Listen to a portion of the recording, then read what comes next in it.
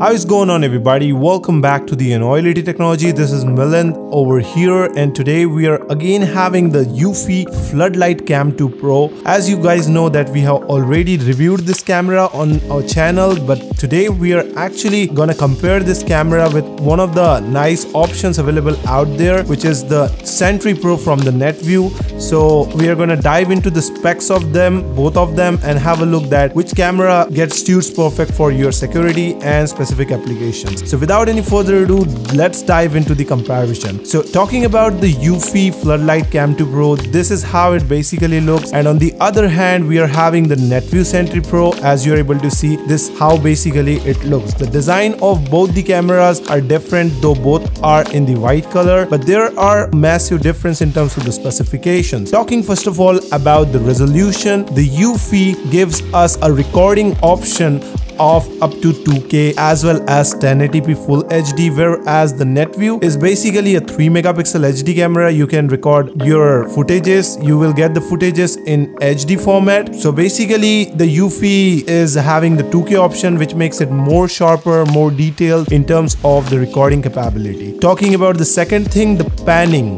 The Eufy basically offers us a 360 degree of panning and tilting of 130 degrees which gives a nice field of view and it also offers us a 270 degrees of motion detection. Whereas on the other hand we are just getting 160 degrees of uh, field of view in terms of the Netvue Sentry Pro. Apart from this the Eufy also has some artificial intelligence inside it. So basically it can easily lock and track if it detects some human or some faces out there. So it can easily just rotate itself in that direction where the face has been detected whereas the Netvue is just like I mean it can do that panning and tilting stuff up to somewhat extent. So basically the Eufy is more advanced here in terms of the lock and tracking feature as well as in terms of the rotation. It's kind of 360 upside down and right and left as well. Apart from this the plus point of the Eufy we also get three super bright LED panels which are like 3000 lumens in terms of its power so basically it makes it a pretty much bright light CCTV camera and not just this thing you can easily control its intensity as well as the color temperature uh, with just the mobile application which is available on the Eufy Android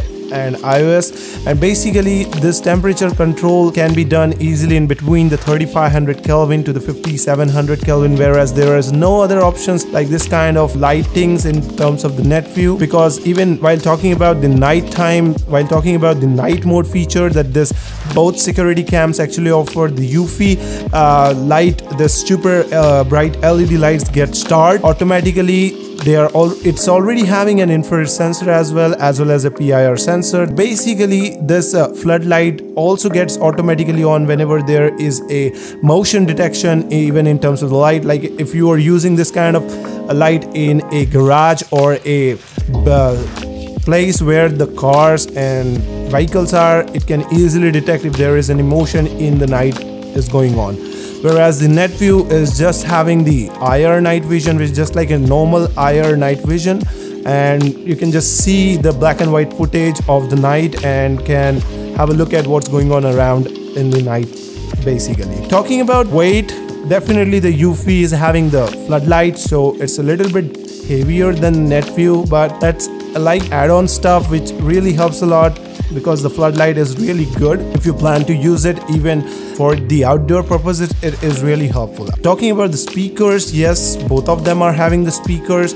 Uh, in the Eufy we can talk with the help of the application whereas the Netvue there is already a two-way hands-free audio. So you just don't need to kind of touch the stuff. You can just directly go on talking. Definitely you need again the app on the Netvue as well in order to do so. Apart from this we get an additional micro USB and sync button on the Eufy side whereas we are just getting inside a box like a power adapter in the in the Netvue and basically just that's it.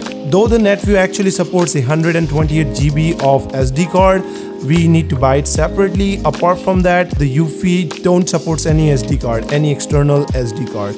We only rely on either the cloud storage or on the internal 8 GB storage which is designed in such a way that after practically using both of these cameras, I observed that we are getting a pretty decent recording with the help of the 128 gigs micro SD card on the Netvue, whereas we were getting a lot recording on 8 GB, only that 8 GB of internal storage. Apart from this, both of them provides us a very nice applications for the phone, for our smartphones, and whenever there is a motion detection, we get the app notification. I just found out that the app interface basically of the Eufy is more customizable. It offers really nice features, more functionalities inside it. So I prefer that. I mean, Eufy is kind of more eco-friendly to me but it totally depend on your choice because it's totally up to you that which camera you're getting. And basically not just this thing like already mentioned we are getting nice cloud storage. They're having several subscription. Both of them supports the google assistant as well as the alexa. But one thing to mention that in the Netvue we are getting the latest h265 recording. I don't know what's going on inside the Eufy camera Eufy floodlight cam 2 pro but due to the practical observation of the actual recording that this security cam is actually doing in itself, it seems out like this is more effective than that of the H265. I don't know how Eufy is processing that stuff in the inside internal circuit, but basically I just found that in spite of being having the Netvue H265, the Eufy was producing more sharper, more 2K crystal clear images and instead of that we were getting more recording in less storage, I would like to say. Apart from this, the Netvue is kind of an outdoor camera, totally outdoor one, so definitely it supports the IP66 whereas the Eufy is more convenient you can use it either in the hall you can indoors or in companies or basically like even in the garages or the parking lots basically so it's pretty much I mean having a field of view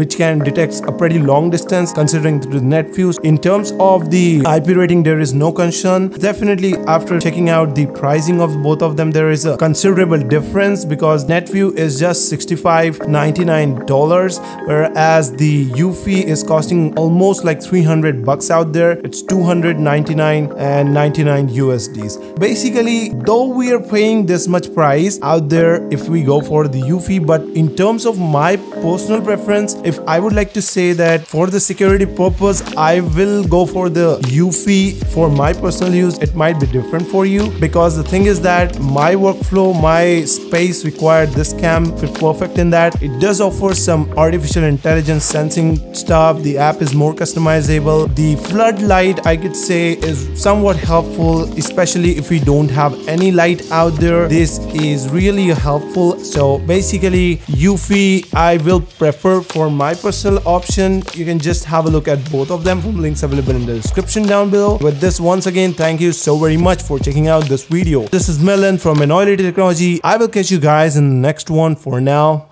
Peace out.